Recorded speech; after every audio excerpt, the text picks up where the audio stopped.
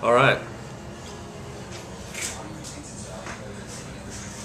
Lico 3 here. Um, I just got back from uh, dinner and picked these two packages up earlier today. Um, it's a Friday, 16th. And let's see, I'll open this one first.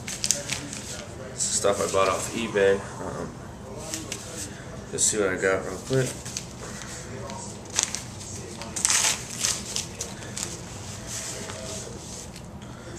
Oh wow. This was a uh, two separate options and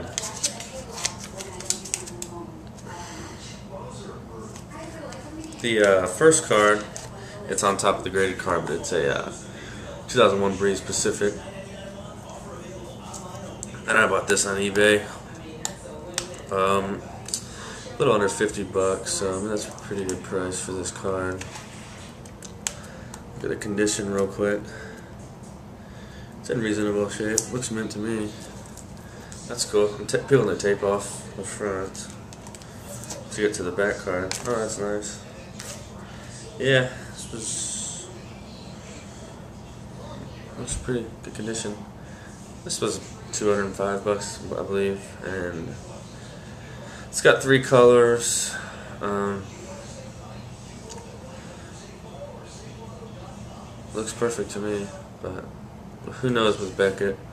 I actually don't want to get into the Beckett thing right now, but I had a uh, card come back that was damaged that Beckett had damaged. A $300 card. I'll be doing a video here next couple days on it um, to show you what happened and the customer service. I'll get into that in a different video, but let's just do these cards first. So that's a really nice card. Let's see, this is, I'm pretty sure what this one is. It's one of the most expensive cards I've ever bought. It's from uh, Lou in Omaha. $19 shipping, you know it's pretty expensive. Oh, wow.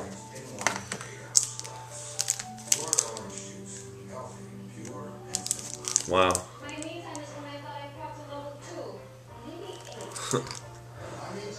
this is a 2007 Exquisite Collection Adrian Peterson three color rookie. I've been looking to get this card for three years now And this patch is nice, and this is a very sensitive set, and this one looks almost flawless with a perfect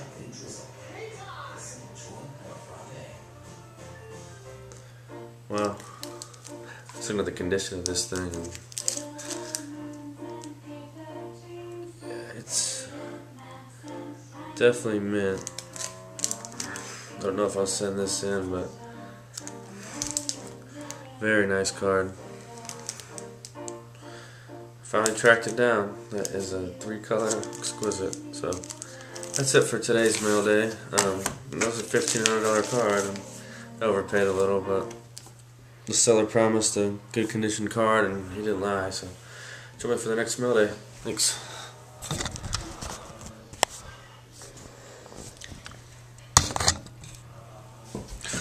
Um, just wanted to talk a little bit more about this card.